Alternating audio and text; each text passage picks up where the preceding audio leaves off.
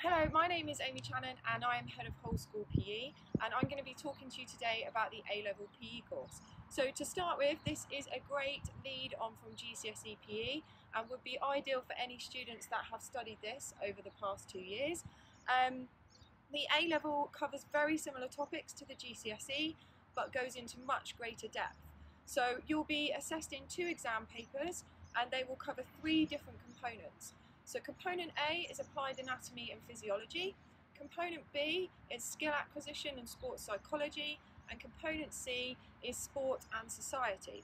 Each of those papers are 35% of the course, um, and then you have one more section of the course which is worth 30%, and this is the practical element of the course. So for this, which is a little bit different to GCSE, you will only study one sport and you will be able to either be assessed in your performance in that sport or you'll be able to be assessed as a coach. Um, so it's very, very useful for candidates looking to take A-level PE to have a predominant sport that they practice inside and outside of school. Moving on then to further education, A-level PE gives you a great opportunity to move into pathways for education, coaching, fitness industry, sports psychology, um, sports analysts, lots of different areas that you can use this course as a base um, to support you with future pathways and your career.